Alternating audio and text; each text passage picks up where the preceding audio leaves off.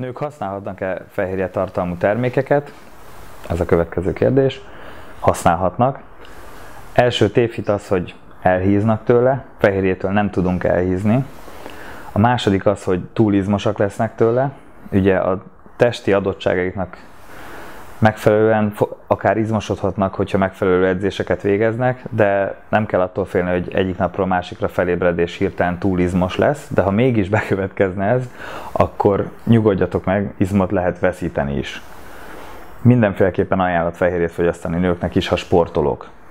A nők számára akár még fontosabb is a külső, mint a férfiak számára, illetve mástól félnek, ugye az elhízás félelme, úgyhogy inkább akkor a tisztább izolátum fehérjét javasolnám a hölgyeknek, hogy megnyugtassuk a lelküket, hogy semmilyenféleképpen nem fognak se túlhízni vagy túlizmosodni.